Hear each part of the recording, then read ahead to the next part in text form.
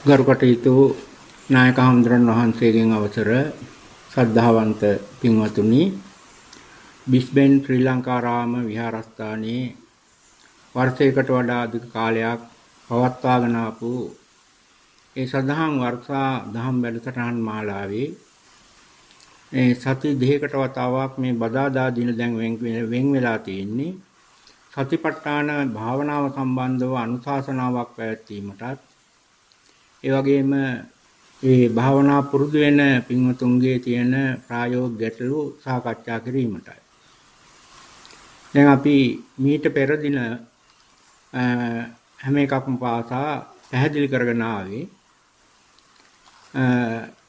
සම්මා දිට්ඨි සූත්‍රය තුල අන්තර්ගත සරියුත් හාමුදුරුවෝ දේශනා කොට වදාළ සම්මා දිට්ඨි ලාභියෙක්ගේ තියෙන ලක්ෂණයන් පිළිබඳවයි. එකිනෙකට වෙනස් වූ ලක්ෂණයන් 16ක් සම්මාදිට්ඨි සූත්‍රය තුල අන්තර්ගත වෙනවා. ඒ 16න් අපි මේ වන විට ලක්ෂණ 10ක් කතා කරලා තියෙනවා. දැන් අද දවසේ සාකච්ඡා කරන්න පැහැදිලි කරලා දෙන්න ඕනේ 11 වෙනි ලක්ෂණයයි. මේ 11 වෙනි ලක්ෂණය සූත්‍රයේ අන්තර්ගත වෙන්නේ සලායතනංච පජානාති සලායතන සමුදයංච පජානාති සලායතන නිරෝධංච පජානාති සලායතන නිරෝධ ගාමිනී පටිපදංච පජානාති කියන ආයතන හය සම්බන්ධවයි. දැන් මේ මේ කියන ගුණය ශ්‍රාවකයෙක් ළඟ තියෙනවා නම් කරියුත් හාමුදුරුවෝ දේශනා කරන්නේ ශ්‍රාවකයා සම්මා දිට්ඨිලාභියෙක් ලෙසයි. මෙතන පජානාති කියන එක දිගින් දිගටම අපි පැහැදිලි කරා. ඒ පැහැදිලි කරේ දැන් පජානාති වෙනවා කියන්නේ ඒ මොහොතේ ඒ ධර්මතාවයේ ක්‍රියාත්මක වන මොහොතේ දැන ගැනීමයි. අතීතයේ හෝ අනාගතයේ දැන ගැනීම නෙවෙයි. මෙතන සලායතනංච පජානාති කියන තැනත් එහෙමයි. සලායතන කියන එකේ තේරුම ආයතන 6 කියන එක.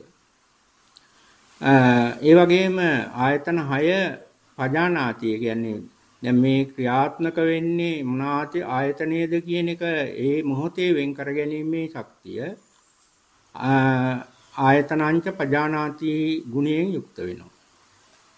ඒ වගේම සලායතන සමුදයංච පජානාති කියන එකෙන් පෙන්눔 කරන්නේ චරිත හාමුදුරුවෝ මේ සලායතන සමුදේ විදිහට නාම රූප සමුදයෝ සලායතන සමුදයෝ විදිහටයි.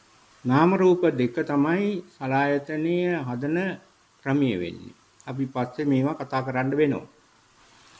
ඒ වගේම සලායතන නිරෝධංච පජානාති කියන තැන සරියුත් හාමුදුරුව පෙන්වුම් කරන්නේ නාම රූප නිරෝධෝ සලායතන නිරෝධෝ ඇති.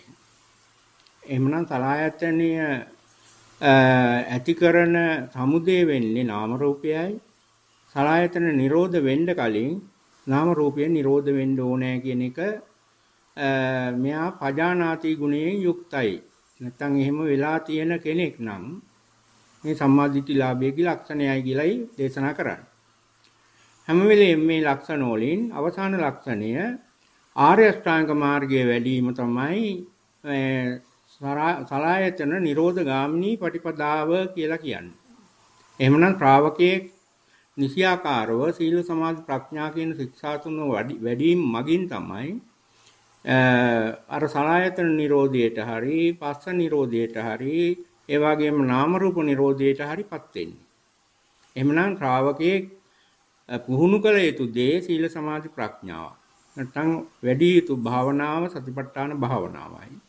ඒ භාවනාවේ කන්දි ස්ථානයක් ගැන ඒ සන්දි ස්ථානයෙන් පසුව ඒ ශ්‍රාවකයා තුන දකින්න පුළුවන් විද්‍යාමාන ලක්ෂණ ටිකක් තමයි එතකොට මේ කියන ලක්ෂණ හතරක්. මෙතෙන්දී දැන්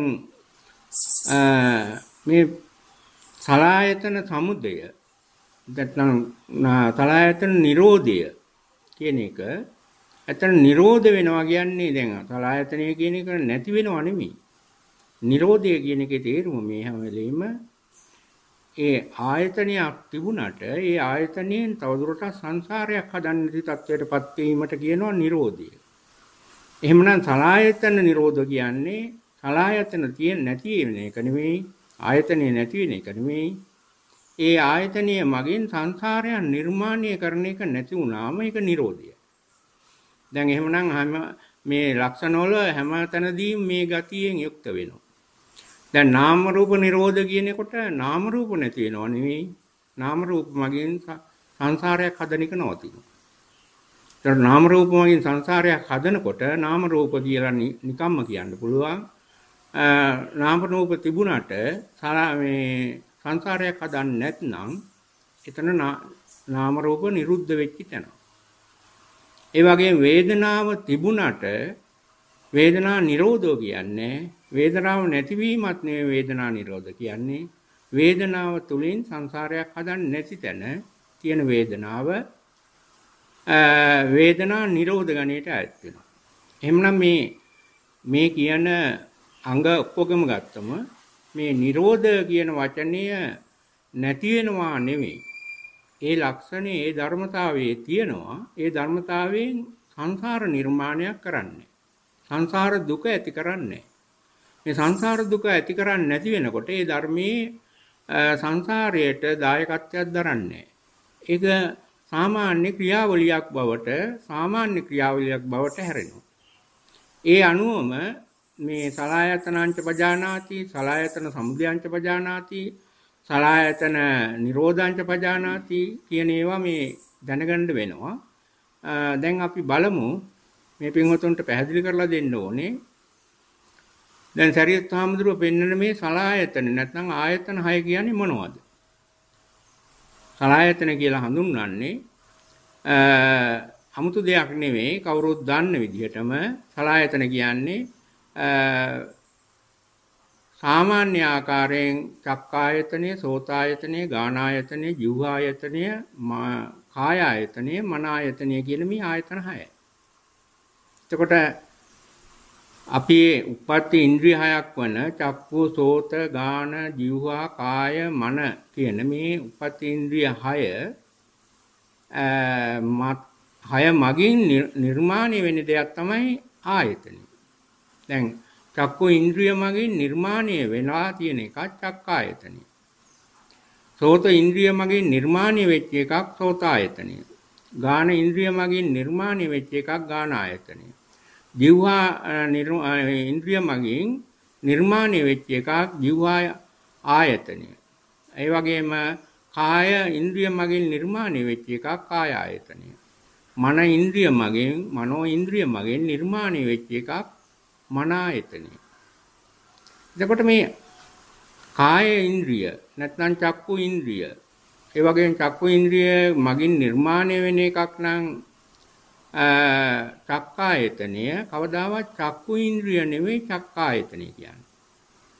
මේ ආයතනය කියනකොට ඒක යම් කිසි පියවරවල් ගණනාවක් ඉස්සරහට ගිහිල්ලා ලැබෙන ප්‍රතිඵලයක් ගැනයි මේ ආයතන කියලා හඳුන්වන්නේ.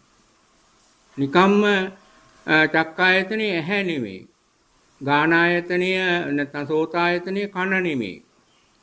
ගානායතනය දිව නෙමෙයි. මේ නම් දෙකකින් භාවිතා කරන්නේ එතකොට අවස්ථා දෙකක් කියන්නේ. දැන් කාට හරි ප්‍රශ්නයක් තියෙනවා දැන් චක්කායතනය කියන්නේ මොන වගේ දෙයක්ද? දැන් චක්කු ඉන්ද්‍රිය කියන එක නම් අපි දන්නේ තරමින් අපේ සාමාන්‍යයෙන් අපේ ශාරීරිය තුල පවතින ඉන්ද්‍රියක්. උප්පත්තියේ මිනිසෙකුට හිමි වෙච්ච ඉන්ද්‍රියක්. අලුතෙන් ඉපදුනාට පස්සේ හදාගත්ත ඉන්ද්‍රියක් නෙවෙයි මේක. වැඩි දියුණු වුණ ඉන්ද්‍රියක් නෙවෙයි. උප්පත්තියෙන් හිමි ඉන්ද්‍රියක්. ඒ චක්කු චක්කු ඉන්ද්‍රිය වෙන්න පුළුවන්, සෝත ඉන්ද්‍රිය වෙන්න පුළුවන්, ගාන ඉන්ද්‍රිය වෙන්න පුළුවන්, જીවහා ඉන්ද්‍රිය වෙන්න පුළුවන්. ඒ වගේම කාය ඉන්ද්‍රිය වෙන්න පුළුවන්, මන ඉන්ද්‍රිය වෙන්න පුළුවන්. මේ උප්පත්ති ඉන්ද්‍රිය හය අපි උප්පත්තියෙම අපිට හිමි වෙච්ච දෙයක්. ඒ වගේම මේ චක්කු සෝත ගාන જીවහා කාය කියන මේ පංච ඉන්ද්‍රිය වර්තමාන ඉන්ද්‍රිය කියනවා. ඒකත් දැනගන්න ඕනේ වර්තමාන ඉන්ද්‍රිය කියලා හඳුන්වනවා. මනෝ ඉන්ද්‍රිය හැම නෙමෙයි. අතීත අනාගත වර්තමාන කියන කාලත්‍රයේටම බලපාන ඉන්ද්‍රියක් විදිහට තමයි මනෝ ඉන්ද්‍රිය හඳුන්වන්නේ. මනෝ ඉන්ද්‍රිය ක්‍රියාකාරීත්වයේ එහෙම තමයි තියෙන්නේ.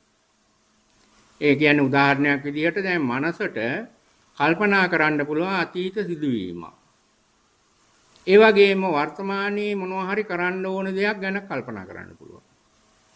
මනෝ ඉන්ද්‍රියට පුළුවන් අනාගතයේ සැලසුම් කරපු දෙයක් ගැනත් කල්පනා කරන්න. මේ මනෝ ඉන්ද්‍රිය එතකොට අතීත වර්තමාන අනාගත කියන කාලත්‍රයටම වළංගුයි. නමුත් චක්කු සෝත ගාන ජීවහා කාය කියන මේ පංච ඉන්ද්‍රිය වර්තමාන ඉන්ද්‍රියන් කියන්නේ වර්තමානයේ තියෙන අරමුණක් එක්ක විතරයි ගනුදෙනු කරන්න පුළුවන්. ගනුදෙනු කරනවා කියන්නේ ඒ විඥානයේ සිත් ඇති කරගන්න පුළුවන් වෙන්නේ වර්තමානයේ අරමුණක් තිබුණොත් පමණයි. ඒ කියන්නේ ඇහැට කවදාවත් ඊයේ දැකපු දෙයක් දැන් බලන්න බෑ. මොකද හේතුව ඊයේ දැකපු තැන අපි නැත්නම් දැන් බලන්න බෑ. ඊයේ දැකපු අවස්ථාවේ මොනවා හරි දෙයක් ඒ ඒ රූපය ගහක් නම් ගහ දැන් අහැ ඉස්සරහා නැත්නම් බලන්න බෑ. ඒ වගේම දැන් අපි හෙට ගිහිල්ලා කොහේ හරි තැනකට ගිහිල්ලා දකින්න දෙයක් අද මෙතන ඉඳලා දකින්න බෑ. දැන් දකින්න පුළුවන් වෙන්නේ ඇහෙන් ඇහැ ඉස්සරහා තියෙන අපි ඉස්සරහා තියෙන දෙයක් විතරයි. දැන් එන්නේ ඒකින්දා මේ අතීතයේ හෝ අනාගතයේ අරමුණු ගන්න බැරි හින්දා චක්කු විඥානය කියන එක වර්තමාන ඉන්ද්‍රියක් වෙනවා. ඔය චක්කු ඉන්ද්‍රිය වගේමයි වර්තමාන ඉන්ද්‍රිය වෙනවා සෝත ඉන්ද්‍රිය. ගාන ඉන්ද්‍රිය, ජීවහා ඉන්ද්‍රිය, කාය ඉන්ද්‍රිය. මේ මෑන් වර්තමානයේ හට ගන්න අරමුණු විතරක් ගන්න පුළුවන්. අතීතයේ හෝ අනාගතයේ අරමුණු ගන්න බෑ. හැබැයි මනෝ ඉන්ද්‍රිය හැම නෙවෙයි. මනෝ ඉන්ද්‍රියෙන් අතීත අරමුණුත් ගත්තකි වර්තමාන අරමුණුත් ගත්තකි අනාගත අරමුණුත් යන්න පුළුවන්. මේ අතින් බලනකොට පංච ඉන්ද්‍රියට වැඩිය බලගත් වෙනවා මනෝ ඉන්ද්‍රිය. මොකද අතීත අනාගත වර්තමාන කියන අරමුණු සියල්ලම මනෝ ඉන්ද්‍රියට ගෝචර වෙන නිසා වෙන්නේ.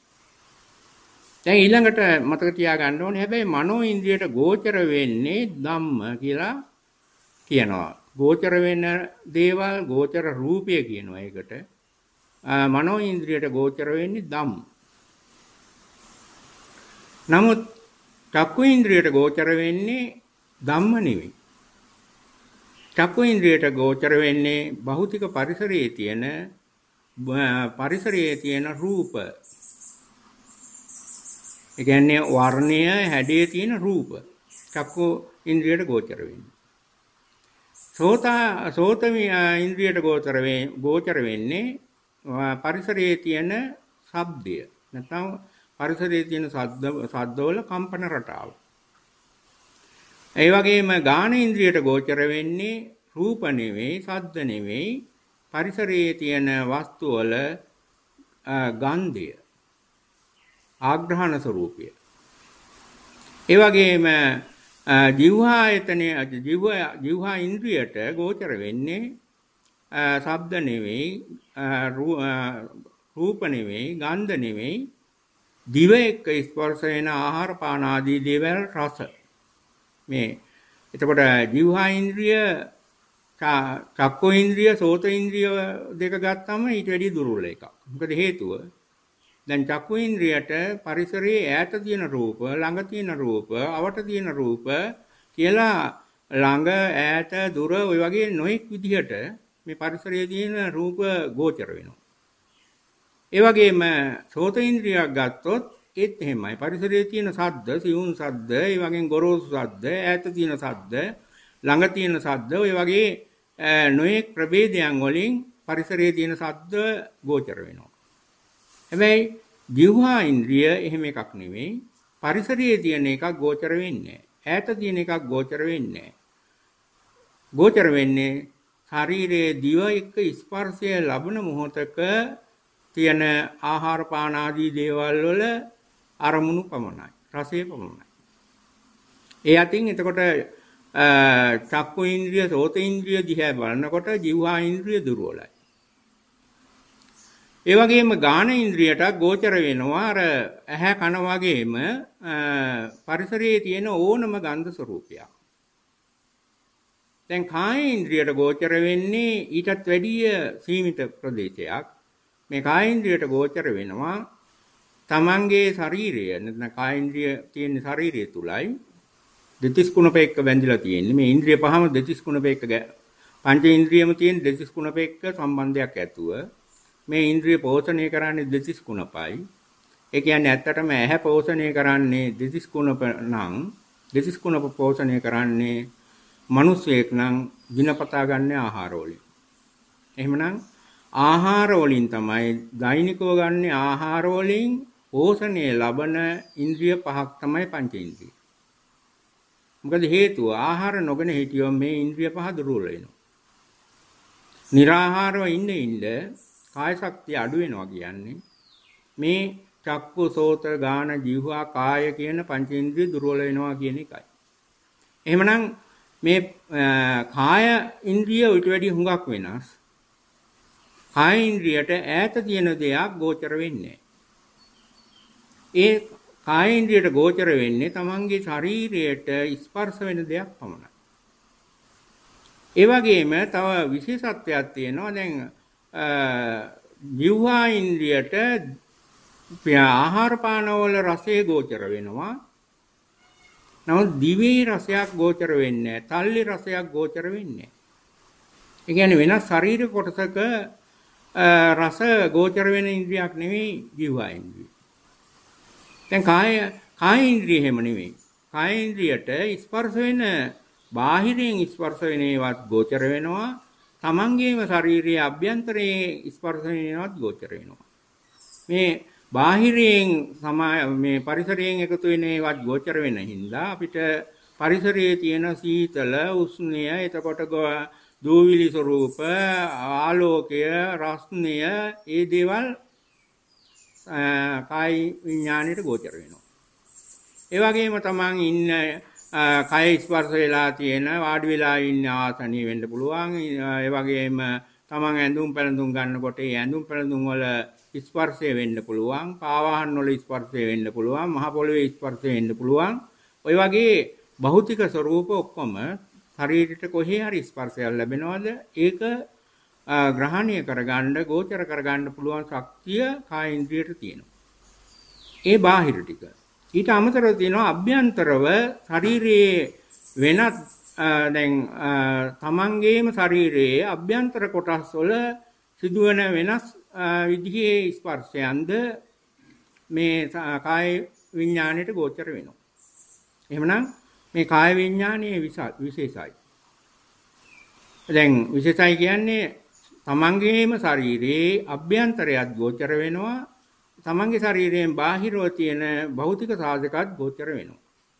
ඒක නිසාවෙන් කාය විඥාණයට ගෝචර වෙන දේට නම් කරනවා පරිසරය කියන්නේ පොට්ටබ්බ කියනවා. මේ පොට්ටබ්බ කියන්නේ පොට්ටබ්බ රූපය. පොට්ටබ්බ රූපය කියන්නේ එතකොට බාහිර පරිසරයේ තියෙන දෙයක් වෙන්න පුළුවන් සීතල උෂ්ණ එතකොට රස්නේ වෙන්න පුළුවන් එතනින් පොළොව වෙන්න පුළුවන් වායුව වෙන්න පුළුවන් දූවිලි වෙන්න පුළුවන් ඒ වගේ බාහිර දෙයක් වෙන්නත් පුළුවන්. එහෙම නැත්නම් ගස් කොළන් ආදී වස්තුන් ස්පර්ශ වෙන්නත් පුළුවන්. එහෙම නැත්නම් තව පුජ්‍යලයන්ගේ ස්පර්ශ වෙන්නත් පුළුවන්. තව සත්තුන්ගේ ස්පර්ශ වෙන්නත් පුළුවන්. ඒ වගේම තමන්ගේම ශාරීරියේ අභ්‍යන්තර කොටස් වල ස්පර්ශ වෙන්නත් පුළුවන්. මේ අතින් බලනකොට කාය ඉන්ද්‍රිය අනික් ඉන්ද්‍රියට වැඩිය ප්‍රබලයි. ඒ අති. මොකද තමාගේ ස්පර්ශයන් තමාටම ගන්න පුළුවන්. ඒකම ගෝචර රූප විදිහට ගන්න පුළුවන්. ඒක නිසා වෙන් අපිට මේ කයෙන් දැනෙනකොට කයෙන් දැනෙන වේදනා ස්වરૂප ගත්තම විඥානය තුල හටගන්න දෙයක් වේදනාව. එතකොට වේදනාවේ අපේ ඔළුව ගත්ත ඔළුවේ පිට වේදනා හා ඔළුව හිසේ අභ්‍යන්තර වේදනා කියලා දෙවර්ගයකට එනවා. ඒ වගේම ඕනම ශරීර කොටසක ඇඟිල්ලක් ගත්තොත් ඇඟිල්ලේ පිටින් දැනෙන වේදනා සහ ඇඟිල්ලේ අභ්‍යන්තර වේදනා කියලා අපිට දෙවර්ගයක් තේරෙනවා. මේ කියන්නේ තේරුම මොකද්ද? කාය විඥානයේ සිත් ඇති වෙන්න පුළුවන් බාහිර සහ අභ්‍යන්තර වශයෙන් දෙආකාරයකට. ඒක නිසාවෙන් ඒ කාය විඥාණයට ගෝචර වෙන රූප වලට කියනවා පොට්ටබ්බ රූප කියලා. ඒකට පොට්ටබ්බ රූප විශේෂයි. දැන් මේ ආකාරයෙන් බැලුවම ඕවා තමයි ඉන්ද්‍රිය කියන්නේ. නමුත් මෙතන ඉගෙන ගන්න තියෙන්නේ ඉන්ද්‍රිය නෙවෙයි. චක්කු ඉන්ද්‍රිය ගැන නෙවෙයි. ආයතන ගැන. දැන් චක්කායතනය, සෝතායතනය, ගානායතනය, જીවආයතනය, ඒ වගේම කාය ආයතනය, මන ආයතනය ගැනයි මේ 11 වෙනි කාරණේදී සම්මාදිට්ඨිලාභියගේ 11 වෙනි කාරණේදී සරියුත් හාමුදුරු දේශනා කරන්නේ. එහෙමනම් දැන් මේ ආයතනයක් වෙන්නේ කොහොමද ඉන්ද්‍රිය? නැත්නම් ඉන්ද්‍රියමද ආයතනය කියන්නේ? නැත්නම් ආයතනය ඉන්ද්‍රිය කියන්නේ දෙකක්ද? මේක පළමුව විසඳ ගන්න වෙනවා. මේ ආයතනය ගැන දැනගන්න නම් මේ දෙක විසඳ ගන්න ඕන. කවදාවත් ඉන්ද්‍රිය කියන එක නෙමෙයි ආයතනය.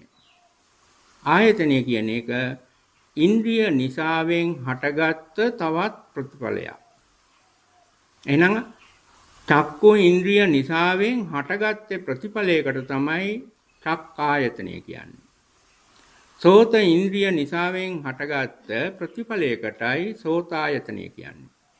ගාන ඉන්ද්‍රිය මගෙන් ඇති කරපු ඇතිවෙච්ච ප්‍රතිඵලයකටයි ගාන ගානායතනය කියන්නේ.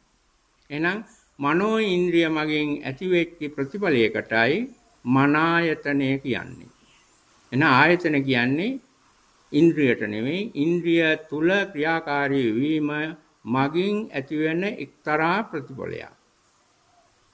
අනික මතක තියාගන්න ඕනේ ඉන්ද්‍රිය මගින් ලැබෙන එකම එක ප්‍රතිඵලය ආයතනීය නෙවෙයි. තව ප්‍රතිඵල ටිකක් තියෙනවා. මේ විශේෂ වූ ප්‍රතිඵලයක් ගැන තමයි ආයතන කියලා හඳුන්වන්නේ. දැන් අපි එහෙමනම් බලන්න ඕනේ කොහොමද මේ දැන් චක්කු ඉන්ද්‍රිය චක්ක ආයතනයක් බවට හැරෙන්නේ මොන වගේ දෙයක් වෙලාද? ධර්මානුකූලව හෙව්වොත් කොහොමද අපිට හොයාගන්න පුළුවන් වෙන්නේ? දැන් ධර්මානුකූලව බැලුවොත් මෙන්න මෙහෙම පටිච්චසමුපාදය කියලා විස්තර කරලා තියෙන්නේ මේ මේ ටික තමයි. දැන් පටිච්චසමුපාද විස්තරේ එක එක ප්‍රත්‍ය වෙලා අනික් ප්‍රත්‍යයන් ගොඩනැගෙන ආකාරය හා ඉදිරියේ ක්‍රියා සාංශාරික දුක හැදෙන ස්වરૂපය ගැන පැහැදිලි කිරීමක් ධර්මයේ තියෙනවා. ඒ ධර්මයේ පැහැදිලි කරපුවාම මුලින්ම පටන් ගන්නෙ අවිද්‍යා පත්‍ය සංඛාරා. සංඛාර පත්‍ය සංඛාර පත්‍ය විඥාන. විඥාන පත්‍ය නාම රූපා. නාම රූප පත්‍ය සලආයතන. සලආයතන පත්‍ය පස්සෝ. දැන් බලන්න මෙතන ආව විඥාන කියලා එකක්.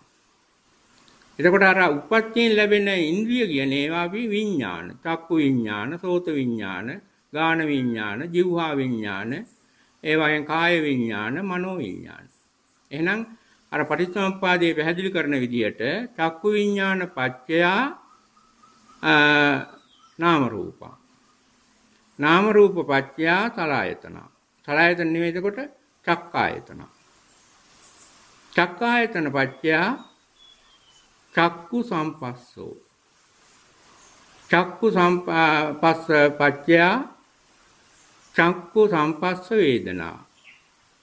දැන් බලන්න එකකට එකක් බැඳිලා තියෙනවා. දැන් පොදුවේ තමයි අර පටිසම්පාදයේදී කිය දේශනා කරන්නේ විඥාන පච්චා නාම රූපා. ඒකට විඥාන හයක් තියෙනවා එනම්. චක්කු විඥාන සෝත විඥාන ගාන විඥාන ඒ වගේම කාය විඥාන මන විඥාන. එහෙමනම් චක්කු විඥානයේ හේතු කොටගෙන හදන්නේ මුලින්ම චක්කායතනෙ නෙවෙයි. චක්කානේ චක්කායතනෙ බිහි කරන්නේ නැතුව ඊට වැඩිය ධර්මතාවයක් බිහි කරනවා. මොකද්ද? චක්කා චක්කු විඥානයේ මගෙන් චක්කු විඥාන පත්‍ය නාම රූපා. එහෙනම් නාම රූපය කියලා දෙයක් බිහි කරනවා. මෙන්න මේ නාම රූපය තුලින් ඉස්මතු වෙන එකක් තමයි ආයතනය. ඒතර ආයතනයේ ඉස්මතු වෙන්නේ නාම රූප හරහායි. නාම රූප කියන જાතිය නැති තැන ආයතනයක් නැහැ. දැන් ආයතනයක් කියන එක බිහි වෙන්නේ එතකොට නාම රූප වච්චය සලආයතනම් කියලානේ තියෙන්නේ. එහෙනම් නාම රූපය හදන්න පුළුවන් ක්‍රම තියෙනවා මිනිසෙකුට හයක්. ඒ හය එන්නේ කොහොමද? චක්කු විඥානේනුත් නාම රූපයක් නිර්මාණය වෙන්න පුළුවන්. සෝත විඥානේනුත් නාම රූපයක් නිර්මාණය වෙන්න පුළුවන්. ගාන විඥානේනුත් නාම රූපයක් නිර්මාණය වෙන්න පුළුවන්. ඒ වගේම ජීවහා විඥානේනුත් නාම රූපයක් නිර්මාණය වෙන්න පුළුවන්. කාය විඥානයනොත් නාම රූපයක් විඥානයේ නිර්මාණය වෙන්න පුළුවන්. මනෝ විඥානයනොත් නාම රූපයක් නිර්මාණය වෙන්න පුළුවන්. එහෙනම් මිනිස්යන්ට නාම රූප කියන ඒවා නිර්මාණය වෙන ක්‍රමවේද තියෙනවා හයක්. ඒක නාම රූපය හැදෙන්න පුළුවන් ක්‍රම තියෙනවා හයක්. දැන් ඊගාවට ඉගෙන ගන්න වෙනවා දැන් චක්කා චක්කු විඥාණයෙන් නාම රූපයක් හැදෙන්න හැදෙන්න නම් මොකද්ද වෙන්නේ? පළවෙනි දේ තමයි ඇහැට මොනවා හරි පේන්න ඕනේ. ඇහැට පේන්නේ නැති වෙලාවක චක්කු විඥාණයෙන් නාම රූපයක් හැදෙන්න බෑ. ඇහැට නොපෙනෙන වෙලාවක චක්කු විඥාණයෙන් නාම රූපයක් හැදින්නේ ඒ වගේම කනට සද්දයක් ඇහෙන්නේ නැති වෙලාවේ සෝත විඥාණයෙන් නාම රූපයක් හදන්නේ හැබැයි මේ ගාන විඥාණයෙන් නාම රූපයක් හදන්න බෑ. ගන්ධ සුවඳත් නොතේරෙන වෙලාවක. එතකොට ජීවහා විඥාණයෙන් නාම රූපයක් හදන්න බෑ. දිවට රසයක් දැනෙන්නේ නැති වෙලාවක. ඒ වගේම කාය විඥාණයෙන් නාම රූපයක් හදන්න බෑ. කයට පොට්ටබ්බයක් ස්පර්ශ වෙන්නේ නැති වෙලාවක. ඒ වගේම මනෝ විඥාණයෙන් නාම රූපයක් හදන්න බෑ. මනසට ධම්ම අරමුණක් ආවේ නැති වෙලාවක. එහෙමනම් තව දෙයක් තමයි මේ නාම රූප වරකට හදන්න පුළුවන් එක ඉන්ද්‍රියකටයි. ඒ කියන්නේ මේකයි. චක්කු ඉන්ද්‍රියෙන් නාම රූපයන් නිර්මාණය කරනකොට සෝත ඉන්ද්‍රිය, ගාන ඉන්ද්‍රිය, ජීවා ඉන්ද්‍රිය, කාය ඉන්ද්‍රිය, මනෝ ඉන්ද්‍රිය මගින් නාම රූප හදන්න බෑ. එතකොට සෝත ඉන්ද්‍රියෙන් නාම රූපයන් නිර්මාණය වෙන වෙලාවේදී අනිකුත් ඉන්ද්‍රිය පහෙන් නාම රූප හදන්නත් බෑ. එහෙනම් වරකට එකයි පුළුවන්. එහෙනම් නාම රූප කියන ඒවා පොදු ධර්මතාවය. හැබැයි දැන් බලන්න මේකේ ගැඹුරක් තියෙනවා. ඇහෙන් හැදුවත් ඇහැට රූපයක් පේන වෙලාවකනේ නාම රූප හදන්න පුළුවන් වෙන්නේ. එතකොට ඇහෙන් හදන නාම රූපයත් කනෙන් හදන නාම රූපයත් දිවෙන් හදන නාම රූපයත් ඒ වගේම නාසයෙන් හදන නාම රූපයත් එකම නමකින් කියන්නේ. ඒ කියන්නේ චක්කු විඥානට සම්බන්ධ නාම රූපය කියන්නේ පොදු නමකින් කියන්නේ. එහෙනම් මොකද්ද මේ කියන කතාවේ තේරුම කියලා බලන්න. මේ නාම රූප කියන්නේ මොනවද? දැන් ධර්මයේ තියෙන ප්‍රධාන ගැටලුව මේ නාම රූප කියන එක මොනවද කියලා දන්නේ නැතුව ගොඩක් අය දැන් නාම රූප සම්බන්ධව තියෙන ඥාන ලබනවා. දැන් ප්‍රසිද්ධම ඥානයක් තමයි දැන් බෞද්ධයෝ වැඩියෙන් සලකනවා මේ කාලේ. මොකද්ද? නාම රූප පරිච්ඡේද ඥානි. දැන් මේක ලැබෙන්නේ කොහොමද? ලැබුණාද මට? ඒ වගේ ගුරු විකාර මිනිසු කරන්නේ අඩු ගන්න නාම රූපය ගැනවත් දන්නේ නැහැ නාම රූපය කියන්නේ මොකද්ද කියලා දන්නේ නැහැ. නමුත් නාම රූප පරිච්ඡේද ඥානය ගැන දන්නේ නැහැ ඉන්නවා ඕන තරම්. දැන් මෙන්න එහෙම සමාජයක තමයි අපි මේ වගේ කතා බහ කරන මේ වගේ අදහස් තියෙන සමාජයක තමයි මේ ධර්මයේ ප්‍රගුණ කරගෙන යන්න වෙන්නේ ඉගෙනගෙන යන්න වෙන්නේ. දැන් නාම රූපය කියන්නේ එතකොට නාම රූප පරිච්ඡේද ඥානය කියන එක 아무තු දෙකක් නෙවෙයි එහෙමනම් මේ නාම රූපයේ නාම කොටසයි රූප කොටසයි වෙන් කිරීමේ හැකියාව තියෙන ඥානයට කියන නාම රූප පරිච්ඡේද ඥානය. දැන් නාම කොටසයි රූප කොටසයි කියලා දෙකක් මේකේ තියෙනවා නාම රූපයේ. නාම රූපය හදන්න පුළුවන් ක්‍රමවේද තියෙනවා හයක්. මොනවද? චක්කු විඥාණයට පුළුවන් නාම රූප හදන්න. සෝත විඥාණයට පුළුවන් නාම රූප හදන්න. ගාන විඥාණයට පුළුවන් නාම රූප හදන්න. ජීවා විඥාණයට පුළුවන් නාම රූප හදන්න. ඔය අවසානයේ මනෝ විඥාණයට පුළුවන් නාම රූප හදන්න. හැබැයි ප්‍රශ්නේ තියෙන්නේ කොයි විඥාණයෙන් හැදුවත් හදන නාම රූපය එක හා සමාන පොදු ගුණයකින් යුක්තයි. දැන් උදාහරණයක් විදිහට අපි හිතමු නිකන් දැන් පස් ටිකක් අරගෙන වතුර දාලා මැටි ගුලියක් හදන්න පුළුවන්. එතකොට ගුලිය ගත්තොත් පස් ගුලියක් ගුලියක්. ඒ වගේම අපිට පුළුවන් ඕනනම් පිටි ටිකක් අරගෙන වතුර දාලා ගුලියක් හදන්න. ඒක පිටි ගුලිය. ඒකට ගුලිය අතින් සමානයි. නමුත් වර්ග දෙකක්. මේ නාම රූපයත් ඒ වගේ එකක්. පොදු ධර්මතාවයක් තියෙනවා. නමුත් හදන ආය ඉන්ද්‍රිය වෙනස්. දැන් චක්කු විඥානයේ මගින් නාම රූප හැදියකි. සෝත විඥානයටත් හැදියකි. හැබැයි මං ඉස්සෙල්ලා කියා දුන්න නාම රූපයක් හදන්න පුළුවන් වෙන්නේ ඇහැට හැම වෙලෙම නෙවෙයි. ඇහැට පේන වෙලාවක විතරයි. ඇහැට පේන වෙලාවට කනට ඇහෙන්න බෑ කාටවත්. දැන් කවුරු කාට හරි දෙන්න පුළුවන් මට පෙන්වන එක ඇහෙනවා. ඇහෙනකොට පේනවා. මේ දෙක වෙලාවල් දෙකකදී වෙන්නේ. ඇහෙන වෙලාවේදී පේන්නේ අපිට. පේන වෙලාවේදී ඇහෙන්නේ. ඇහෙන වෙලාවේදී මතක් වෙන්නේ. මතක් වෙන වෙලාවේදී ඇහෙන්නේ. මේ මේවා වේගවත් නිසාවෙන් ක්‍රියාකාරී සිතේ වේගය වැඩි හින්දා මේ අපිට එක වෙලාවේ කරනවා වගේ පෙනුනට ධර්මානුකූලව මේවැ ඉඩක් තියෙනවා. ඉඩක් ඇතුව තියෙන වරකට එකයි සිදු වෙන්නේ. ඒකත් දැනගෙන ඉන්න ඕනේ. නැතුව මේ මේ වෙනස් විදිහකට හිතන්න බෑ මේක.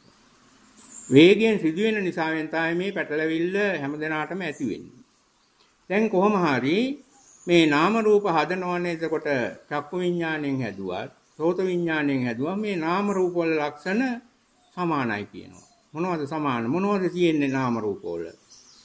මේ නාම රූප වල තියෙන ලක්ෂණ ගැන සරියුත් හාමුදුරුව මේ සූත්‍රයෙන් විස්තර කරනවා. හැබැයි මෙතෙන්දි නෙවෙයි. සලායතන පජානාති සලායතන සමුදේ වජානාති කියන මේ සම්මාදිට්ඨිලාභියෙක්ගේ 11 වෙනි කාරණේදී නෙවෙයි. 12 වෙනි කාරණේදී. නාම රූපය කියන්නේ මොකද්ද? එතන තියෙන 12 වෙනි කාරණේ එන්නේ නාම රූපාංච පජානාති නාම රූප සමුදයංච පජානාති නාම රූප නිරෝධංච පජානාති ආදී වශයෙන් එතන 12 වෙනි කාරණේ පැහැදිලි කරනකොට තැන මේ නාම රූපය මොකද්ද කියලා සරියුත් හාමුදුරු පෙන්වනවා. නාම රූපය කියන එකේ නාමය මොකද්ද රූපය මොකද්ද? ඒකේ නාමයේ විදිහට සරියුත් හාමුදුරුව පෙන්වන්නේ ඒ ඇහෙන් හෝ කනෙන් හෝ නාසයෙන් ඇතිවෙච්ච සිත තුල නැත්නම් ඇහැට ගෝචර වෙච්ච රූපය නිසාවෙන් හටගත්ත සිතේ හටගන්නා වූ ධම්ම පහක් තමයි නාම කියලා ධර්මයේ හඳුන්වන්නේ. මොනවද මේ ධම්ම? වේදනා සංඥා චේතනා මනසිකා පස්ස මනසිකාර. මෙන්න මේ ටික තමයි. ඒකට ඇහැට රූපයක් පේනකොට ඒ රූපය නිසාවෙන් හටගන්න ඒ රූපය නිසාවෙන් හටගත්ත චක්කු විඥානය කියන සිත තුල සිත තුල හටගන්නේ ධම්ම. ඒ ධම්මවල පස්ස වේදනා සංඥා චේතනා පස් වේදනා සංඥා චේතනා පස්ස මනසිකාර කියන මෙන්න මේ පහ නාමයි. එන නාම රූප පරිච්ඡේද ඥානය ලබන්න කලින් නාමය කියන්නේ මොකද්ද කියලා දැනගන්න වෙනවා. නාම කියන්නේ මේ ටිකයි. රූප කියන්නේ මොකද්ද? දැන් ඇහැට පේන රූපයක් ගත්තොත් පේන රූපය හැදිලා තියෙන්නේ ගහක් වෙන්න පුළුවන් සත්වයක් වෙන්න පුළුවන් මහ පොළොව වෙන්න පුළුවන් අහස වෙන්න පුළුවන් තාරකා වෙන්න පුළුවන් හඳ වෙන්න පුළුවන් ඉර වෙන්න පුළුවන්.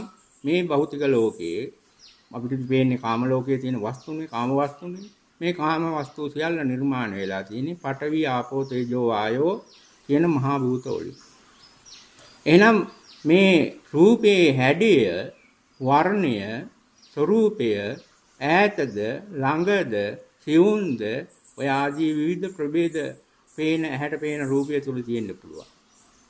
ඇහැට පේන පේන රූපය තුල ප්‍රභේද 11ක් තියෙනවා කියලා බුදුහාමුදුරුවෝ ධර්මයේදී පෙන්නනවා.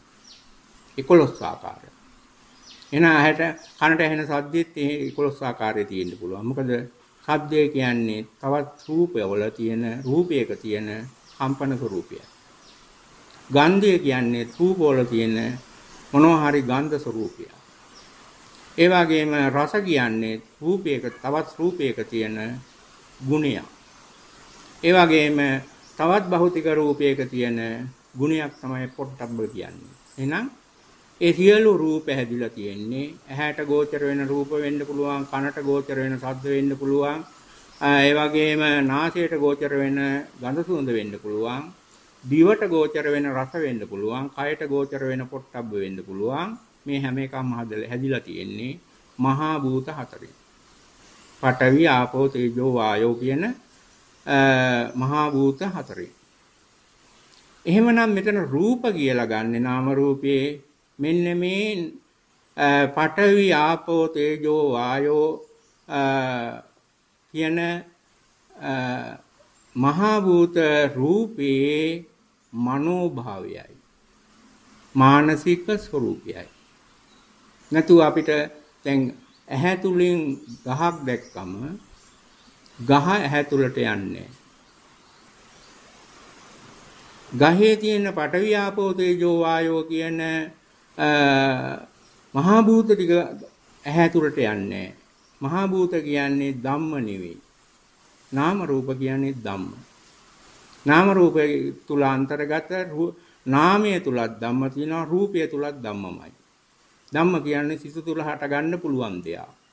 එහෙනම් ඇහැ මගින් පේන වෙලාවේ එකක් අපි දන්න ධම්ම පහක් හදනවා. ඒ ධම්ම පහ තමයි වේදනා සංඥා චේතනා පස්ස මනසිකාර. වේදනා සංඥා චේතනා පස්ස මනසිකාර. ඊට අමතරව අලුත් ධම්මයක් හදනවා ඒක තමයි අර පඨවි ආපෝ තේජෝ වායෝ කියන මහා භූතවල මනෝභාවය මනෝමය රූපය එහෙනම් මනෝමය රූපය තුල අන්තර්ගත වෙන්නේ ඇහෙන් දැකපු ප්‍රකෘති රූපේ පඨවි ආපෝ තේජෝ වායෝ කියන මහා භූතවල යම්කිසි ඡායා ස්වરૂපයක්. ඡායා මාත්‍ර රූපයක්. මනෝ මාත්‍ර රූපයක්.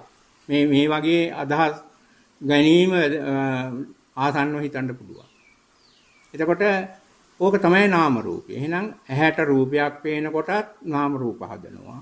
ඒක තුල අනිවාර්යයෙන්ම අන්තර්ගතයි වේදනා සංඥා චේතනා පස්සමනිස්කාර. කනට සද්දයක් ඇහෙන කොටත් නාම රූප හදනවා. ඒකේ අන්තර්ගතයි වේදනා සංඥා චේතනා පස්සමනිස්කාර. ඔය ආදී වශයෙන් මනෝමය අරමුණක දැන් අපි අපි ජීවත් වෙන කාම ලෝකේ හිතට කල්පනා වෙන හැම දෙයකම අතීතයේ දැකපු දෙයක් හෝ අතීතයේ ඇහිච්ච දෙයක හෝ මතකයක් තියෙනවා. ඇහි අතීතයේ ඇහිච්ච දෙයක් වර්තමානයේ ඇහෙන දෙයක් අනාගතයේ ඇහෙන්න පුළුවන් දෙයක්. මේවා හැදෙන්නේ කොහෙන්ද? මහා භූතෝලෙන්. එහෙනම් මනසෙන් එන අරමුණු වලත් තියෙනවා පඨවි ආපෝ තේජෝ වායෝ කියන මහා භූතෝල අර මනෝ ඡායාව. එහෙනම් නාම රූපයේ රූපය මානසිකව මහා භූතෝල ඡායාවක් වගේම නාමයේ මෙතන වේදනා සංඥා වේදනා සංඥා චේතනා පස්සමනිස්කාර කියන ධම්ම පහයි.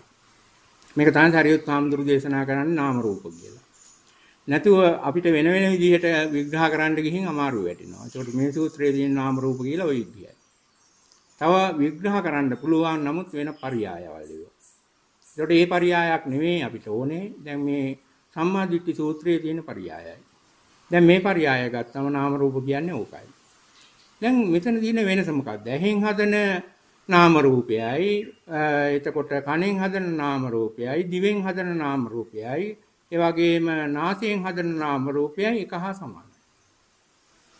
පොදු දෙයක්. පොදු දෙයක්. ඒ පොදු නාම වෙන වාසිය තමයි අර මං ඉස්සෙල්ලා කිව්වේ මැටි වලින් ගුලියක් හදනවා වතුර දාලා. ඒකත් ගුලියක්.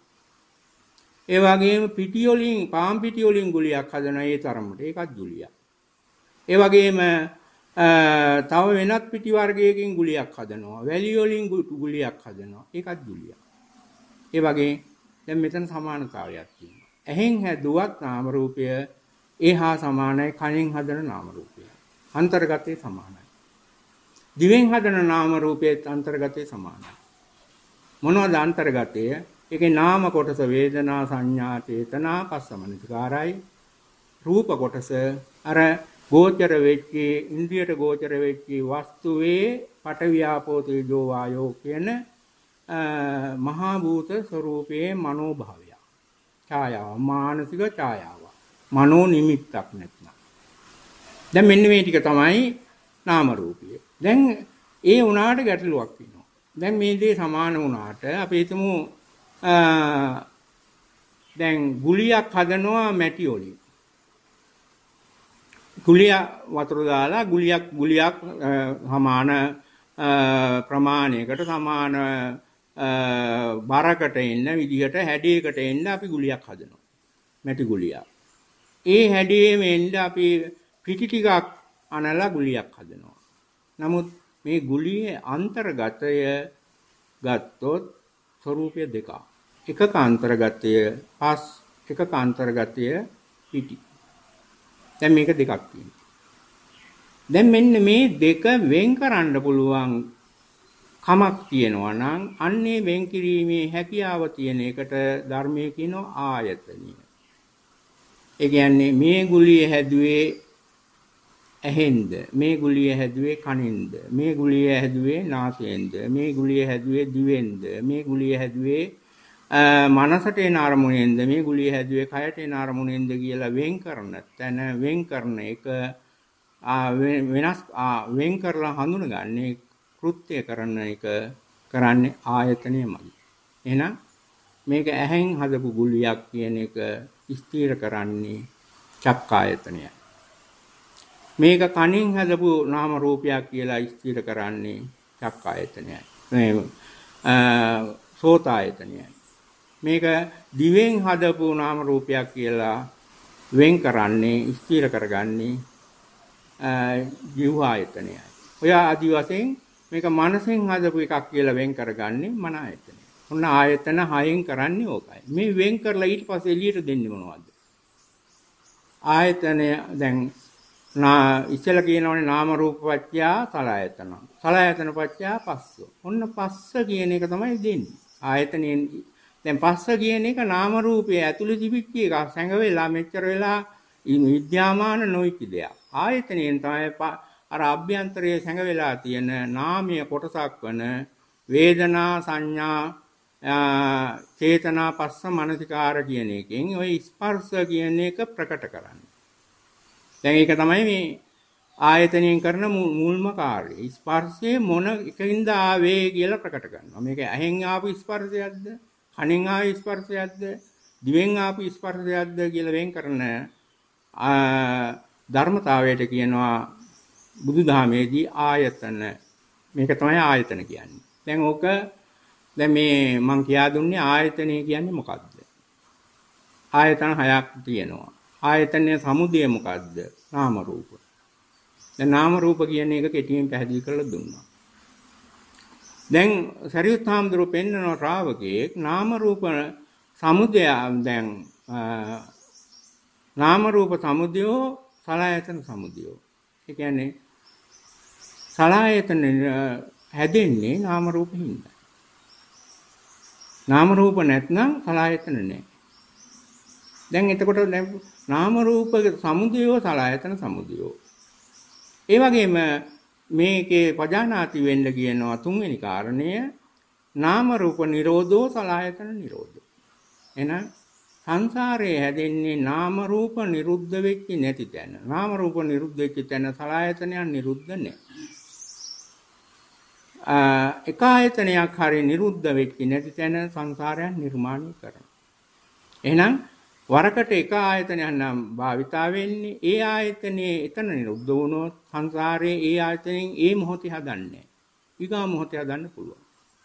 නිරුද්ධ වෙනවා කියන්නේ ආයතනේ අවලංගු වෙනවා නෙවෙයි විනාශ වෙනවා නෙවෙයි හට ගන්න නැති වෙනවා නෙවෙයි නිරුද්ධ වෙනවා කියන්නේ ආයතනයේ තියෙනවා සංසාර හදන ස්වરૂපය අහක් වෙනවා ආයතනයේ තියෙනවා සංසාර හදන ස්වરૂපය අහක් වෙනවා එතකොට ආයතන වැඩ කරලා සංසාරයේ හදන්නේ නැති ආයතනයක් විදිහට වැඩ කරනකොට ඒකට කියනවා ආයතන නිරෝධය දැන් මේක තමයි සරියුත් හාමුදුරු ගැඹුරෙන් කියන්නේ ඉතින් දැන් මේ දේ මේ පැහැදිලි කරන්නේ මේ සම්මාදිට්ඨිලාභියෙකුට ලැබෙන්න පුළුවන් සියලුම ආකාර ගැනයි. මේක ශ්‍රාවකයෙකුට දැන් සරියුත් හාමුදුරුවෝ කියන දේ අවබෝධ වෙන්න විදිහක් නැහැ කිසිසේත්ම. නමුත් ධර්මයේ මේකයි නැත්නම් විකෘති ධර්මයේ දා අදහපු හින්දා විශ්වාස කරපු හින්දා රැවටුණු හින්දා පැවිදි වෙච්ච හාමුදුරුවෝම සරියුත් හාමුදුරුවෝ මේ සම්මාදිට්ඨි සූත්‍රය දේශනා කරන්නේ. එහෙම නැතුව මේ වර්තමානයේ කිසිවක් දන්නේ නැතුව විකාර කරන අය උදෙසා නෙවෙයි. ඊට වැඩිය ධර්මානුකූලව අධ්‍යාත්මික පුහුණුවක් ලැබලා ඒවෙන් අතරමං වෙච්ච අයට. නමුත් අපිට දැන් මේක ඉගෙන ගැනීම තුළ අපේ දියුණුවත් ඒ වගේම මේ ධර්මයේ පිළිබඳ දැන ගැනීමත් අපිට වටිනවා. මොකද හේතුව නැත්නම් අපි එක එක්කෙනා කියන බොරු දේවල් වලට රැවටෙන්න වෙනවා තව තවත්. ඒක අඩු කරගන්න නිසියාකාරව පුහුණුවක යන්න මේවා ඉගෙන ගැනීම වැදගත් වෙනවා. දැන් අපි බලමු අපි පුහුණු වෙන්නේ සක්මන් භාවනාව. දැන් සක්මන් භාවනාවේ එහෙමනම් මේ ආයතන හයක් අපිට වැඩක් නෑ. සක්මන් භාවනාව එක්ක වැඩ කරන්නේ අපිට වැඩියෙන් අවශ්‍ය වෙන්නේ ආයතන එකයි. ඒක කාය ආයතනයි. එහෙනම් කායේ කාය ඉන්ද්‍රියෙන් හදන නාම රූපයක් එක්ක වැඩිවීමක් තමයි කාය අනුපස්සනාව තුළ තියෙන්නේ. ඒ සෝත ආයතනේ, ගාන ආයතනේ, ජීව ආයතනේ, මන ආයතනේ එක්ක සම්බන්ධයක් මේකේ නෑ. එහෙමනම් ඇහැට වෙන්නේ මොකද කියලා හොයලා වැඩක් නෑ ඔය කරන භාවනාවෙන්. කනේ විකෘති හොයලා වැඩක් නෑ අපි. නාසයේ විකෘති හොයලා වැඩක් නෑ. මනසේ විකෘති හොයලා වැඩක් නෑ. හොයන්න තියෙන්නේ කාය ඉන්ද්‍රිය තුල දකින්න පුළුවන් වෙනස්කම්. දැන් කාය ඉන්ද්‍රිය තුල තියෙන වෙනස්කම් බලනකොට දැන් කමඨහනට ගන්නෙ කොහොමද අපි? කාය ඉන්ද්‍රියෙන් එන සියලුම අරමුණු නෙවෙයි සක්මන් භාවනාවට ගන්න. කයෙන් එන සියලුම අරමුණු නෙවෙයි. කාය ඉන්ද්‍රියෙන් අරමුණු ගන්න පුළුවන් ශරීර කොටස් වල අභ්‍යන්තර බාහිර වශයෙන් හැම තැනින්ම. රෝම කූපයක් ගානේ ගන්න පුළුවන්. එච්චර විශාල පැතිරී ගිය ඉන්ද්‍රියක් කාය ඉන්ද්‍රිය. නමුත් සක්මන් භාවනාවේදී අපි භාවනාවට ගන්නේ ඇවිදින වේලාවක තමන්ගේ ශරීරයේ යටිපතුල යටිපතුල කියන කාය කොටස පොළොව එක්ක ස්පර්ශ වීමේදී ඇතිවෙන සිත පමණයි. දැන් මේ ගැන අවධානයෙන් ඉඳීමෙන් තමයි අපේ භාවනාව පටන් ගන්න. කකුල බිම වදිනකොට අවධානයෙන් ඉන්නවා. එතකොට කකුල බිම වදිනකොට අවධානයෙන් ඉන්නේ මොකටද? සිහි කල්පනාව පවත්වන්නේ මොකටද? අර කාය විඥානීය තුල ඇති වෙන වෙනස්කම් ක්‍රියා කර ගැනීම සඳහා බුදුහාමුදුරන්ට ඕන වෙනස්කම් කර ගැනීම සඳහා. එතකොට වෙන්නේ මොකද්ද? කයෙන් ඇති වෙන අරමුණ තුල අර කාය විඥානය වෙන් කර ගන්නවා ටික ටික. අනික් විඥාන නොසලකා හරිනවා. ඇහැ අරලා තිබුණාට ඇහැට රූප පේනවා. ඒකට තැනක් දෙන්නේ නැතු වෙනවා කාලයක් යනකොට. ඒ වගේම සක්මන් කරනකොට විවිධ දේවල් මතක් වෙනවා. මතක් වුණාම මතක් වෙන එක නැති කරන්න කියලා උපදෙස් දීලා නැහැ කාටවත් අපි. මතක් වෙන නොසලකා හරිනවා කාලයක් යනකොට. මතක් වීම නවතින්නේ නැහැ මතක් වෙනවා අපිට වැඩක් නැතු යනවා. අපි වඩන්න හදන්නේ අපිට ඕන අරමුණ පමණයි. වඩනවා කියන්නේ අකුසලයේ හක් කරන එකයි. අකුසලයේ හක් කරගෙන ඉන්න ඕනේ ඉස්සෙල්ලාම අදාළ විඥාණයෙන් ඇති වෙන සිත තුල. අකුසලයේ මොනවද? අකුසලයේ කියන්නේ අර අවිජ්ජා ව්‍යාපාද සංකල්පනා. ඒ සිත තුලින් හටගන්න සංකල්පනාවල අවිජ්ජා සංකල්පනා හා ව්‍යාපාද නැත්නම් අවිජ්ජා සංකල්පනා හා දෝමනස් සංකල්පනා. මෙන්න මේ ටික යටපත් කිරීම තමයි සක්මන් භාවනාවේ වඩන්නේ. එතකොට වැඩින්නේ ඇත්තටම කාය විඥාණයෙන් එන අරමුණ ඒ අරමුණේ නාම රූපයට බලපානවායි. ඒ අරමුණ ආයිති කාය කායින්ද්‍රියට හින්ද කාය ආයතනට බලපානවා. කාය ආයතනයෙන් හදන ස්පර්ශයට බලපානවා. ස්පර්ශයෙන් හදන වේදනාවට බලපානවා. වේදනාවෙන් හදන තණ්හාවට බලපානවා. එහෙනම් තණ්හාව ඉන්නේ හුඟක් ඈත. තණ්හාවට බලපෑම් කරන්නේ කායික කොටසින් එන අවධානය මතයි. තෝරගත්තේ අරමුණේ අවධානය මතයි. තණ්හාවට බලපෑම් කරන්න මුලින්ම තණ්හාවට බලපෑම් කරන්න බෑ සංකල්පනාවල අභිජ්ජා දෝමනස්ස දෙක තියෙන කතාව. තියෙන තාක්කල්. එහෙමනම් සංකල්පනාවල අවිජ්ජා දෝමනස්ස දෙක යටපත් වුණාට පස්සේ යම්කිසි බලපෑමක් තණ්හාවට කර හැකියි. තවදුරටත් මේ සක්මන් භාවනා කිරීම තුළ එතකොට සිදුවෙන්නේ ඔය බුදු සරියුත් හාමුදුරුව පෙන්නන කාය ආයතනයේ නිරුද්ධ වෙන ගතියකට එන එකයි. එතකොට කාය ආයතනයේ නිරුද්ධ වෙන්න කලින් කයේ ධාතු ගුණ ඉස්මතු වෙන්න ඕන. කායේ ධාතු ගුණ ඉස්මතු වුණාට කාය ආයතනය නිරුද්ධ වෙන්නේ නැහැ. කායදන නිරුද්ධ වෙන්න නම් කයේ ධාතු ගුණ ඉස්මතු වෙලා ඒවට අංශු මාත්‍ර ඇලීම් අංශු මාත්‍ර ගැටීම් නැති තැනක් ලැබෙන්න ඕනේ. නමුත් කිසිම ශ්‍රාවකයෙකුට මෙන්න මේ අවස්ථාවේ මං කයෙන් එන ධාතු ගුණයට කයෙන් එන අරමුණට අංශු මාත්‍ර ඇලීමක් අංශු මාත්‍ර ගැටීමක් සිදු කරේ නැහැ කියලා තීන්දුව දෙන්න හැකියාවකින් යුක්ත නැහැ. ඒක නිසාවෙන් දැන් ඒක එහෙම තිබුණා නම් එදත් මේ ප්‍රශ්නේ ඉන්නේ එහෙම නැහැ. දැන් සරියුත් හාමුදුරන්ට මෙච්චර ගැඹුරෙන් මේක විස්තර කරන්න උනේ මෙන්න මේ ಗುಣ මොනෝහරි තියෙනවා නම් එයා සම්මාදිට්ඨිලාභයේ ව්‍යාජ දේවල් වලට රැවටෙන්න එපා කියන උපදේශ අනුවයි මේ සූත්‍රය දේශනා කරන්නේ. ඉතින් මේ පින්වතුන් මතක තියාගන්න ඔය තමන් කරන භාවනාව තුලත් ඔය කියන ಗುಣ ටික ලැබෙන ක්‍රමයක් තමයි ඔය වඩ아가න යන්නේ. තමන්ගේ කම්මැලිකම් නැතුව, ඒ වගේම අවිශ්වාසය නැතුව ධර්මයේ කෙරෙහි ශ්‍රද්ධාවෙන්, ධර්මයේ කෙරෙහි ගෞරවයෙන්, කමඨහන කෙරෙහි ගෞරවයෙන් පුහුණු වීම තුළින් යන්නේ මේවා මේ කියන ලක්ෂණ කරා තමයි. නමුත් මේ ලක්ෂණ මේ වගේ ගැඹුරු ලක්ෂණ නම් Tamanට ලැබුණාවත් තීන්දුව කරන්න පුළුවන් හැකියාවෙන් යුක්ත වෙන්න බෑ.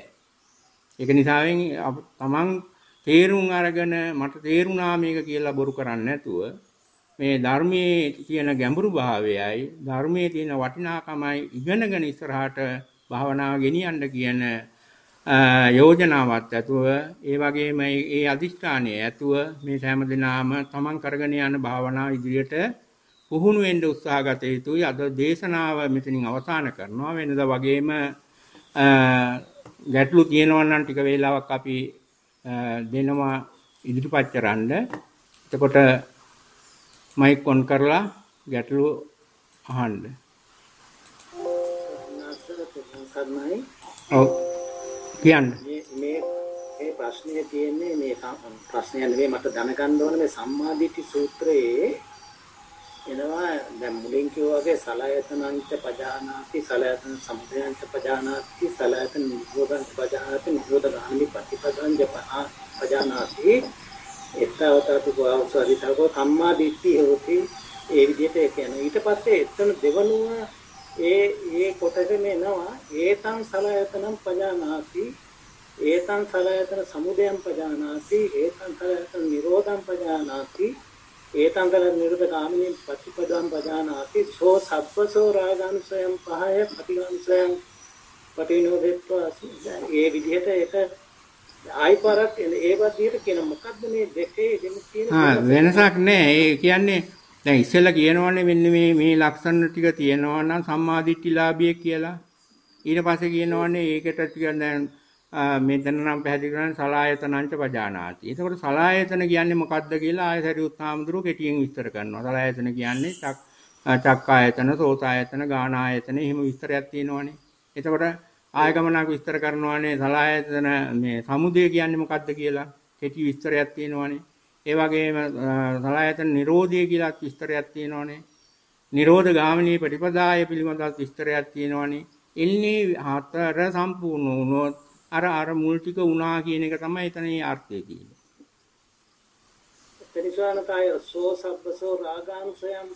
නෑ ඒක තමයි දැන් ඉතින් සම්මාදිට්ඨිය ලැබුණම තියෙන සම්මාදිට්ඨිය තුල නෑ රාග අනුසය. සම්මාදිට්ඨිය තුල නෑ දේශ අනුසය. මෝහ අනුසය. සම්මාදිට්ඨිය තුල නෑ. නැතුව දැන් මෙහෙම එකක් නෑ. සෝවාන් වෙනවා කියන එක නෙමෙයි එතන මේ සම්මාදිටියේ සූත්‍රයෙන් පැහැදිලි කරන්නේ. රහතන් වහන්සේ තුල තියෙනවා රාගානුසය කිසිම අවස්ථාවක නැහැ. තේරෙනව නේද? කිසිම අරමුණක නැහැ. දැන් මෙතන කියන්නේ එහෙම නෙමෙයි. මෙන්න මේ ಗುಣ තියෙන තැන රාගානුසය නැහැ කියලා. එතකොට සෝවාන් වෙච්ච කෙනෙකුට මේ මේ කියන දිට්ඨිය ඇති වෙනවා විතක විතක ඇති වෙන්නේ නැහැ කියන එකයි. එහෙම නැතුව එතන මේ රහතන් පළවෙනි පත නෑ නෑ රහතන් වහන්සේ ගැන නෙමෙයි කියන්නේ. සම්මාදිට්ඨිලාභයම. ඒ කියන්නේ සම්මාදිට්ඨිය තියෙන තැන හැම වෙලෙම ওই අනුසේ නෑ. නමුත් සම්මාදිට්ඨිය රෝහන් වෙච්ච කෙනා ලබා ගත්තට ඊගාව හැම වෙලෙම දැන් කයෙන් එන අරමුණක සම්මාදිට්ඨි ගුණය තිබුණාට ඊගාව කයෙන් එන අරමුණේ සම්මාදිට්ඨි ගුණය රෝහන් වෙච්ච කෙනාගේ තියෙන්න ඕන කමක් නෑ. ආයෙ නැවත එන්න පුළුවන්. ඒ සෝවාන් පුද්ගලයාට දැන් කාමරාග ද්වේකාම කාමච්ඡන්ද ව්‍යාපාද දෙක පවතිනවනේ නෑ නෑ එහෙම මේ එහෙම එකක් නෙමෙයි කියන්නේ මේ වර්තමාන සිතේ දිට්ඨිය තුල නෑ කියලා දැන් රෝහන් කියන්නේ සම්මා දිට්ඨිය සම්මාදිට්ඨිලාභියා දැන් ඔය කතා කරන්නේ සම්මාදිට්ඨිය ලැබපු කෙනා ඒක ගලාගෙන යන ගඟ වගේ තියෙයි කියලා. දැන් සම්මාදිට්ඨිය ගලා යන ගඟ වගේ තියෙන රහතන් වහන්සේට. දැන් මෙතන මේ කියන්නේ සම්මා දිට්ඨිය ලැබපු මොහොතේ රාගානුසය නෑ, දේශානුසය නෑ කියලා. නැතුව රාගානුසය ඉවර වුණා කියලා නෙවෙයි මේ කියන්නේ. ඒ මොහොතේ නෑ කියලා. එහෙම තේරුම් ගන්න. ඒක තමයි හොඳ විදිහ.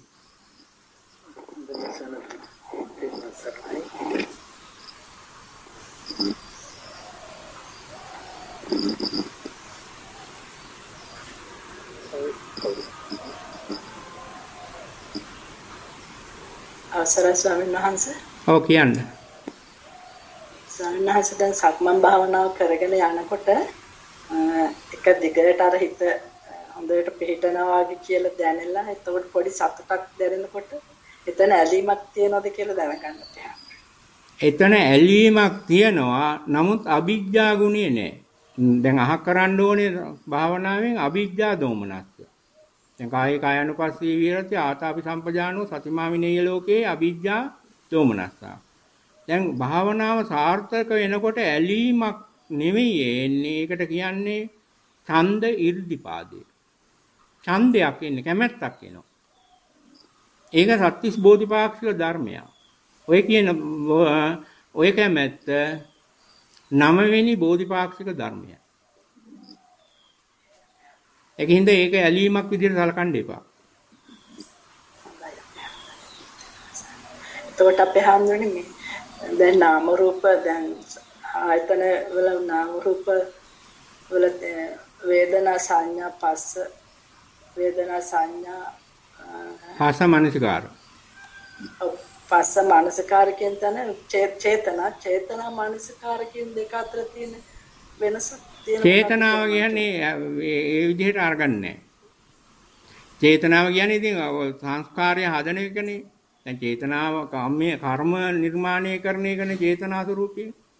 දැන් ඒ ඒ වදේවල් මෙතන චේතනාව තමයි දැන් ඔය වගේ අපි දුන කයෙන් එන අරමුණේ අපිට දැන් අපි දුන කමඨහන පවත්වන වෙලාවේ ඔය අරමුණ තුල තියෙන චේතනා දැන් මං හරියට කරනවා වැරදියට කරනවා ඕනවා තමයි චේතනා කියන්නේ.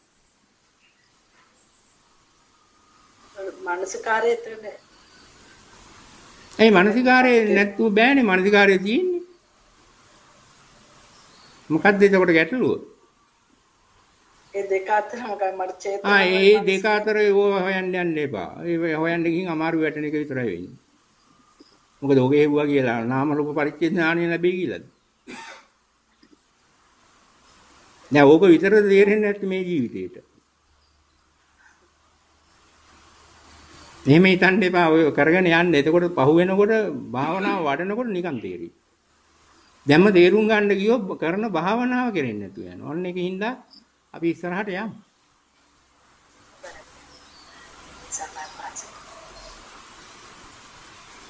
අවස්ථරයි ස්වාමීන් මම දැන් බිස්බේ නුවරට පැමිණලා සිටින නිසා ඉසිත කාලයේ තියෙන වෙලාවට ඉබේ තේජෝ ධාතුව ප්‍රකට වෙන ස්වභාවයක් තියෙනවා. එතකොට ස්වාමීන් වහන්සේ ඒ වෙලාවට ඒ නොසලකා හැරලා නෑ නෑ ඔය එහෙම ප්‍රකට වෙච්ච එක හඳුන ගැනීමේ ලක්ෂණය අදාළ නෑ කමටහනට. ඒ කියන්නේ ප්‍රකට වුණාට කමන්නේ මොනවා හරි ඒක හඳුන ගන්න අවශ්‍ය නෑ. ඒක ඒකත් නොසලකා හැරලා ඔහි කරගෙන යන්න. හොඳයි.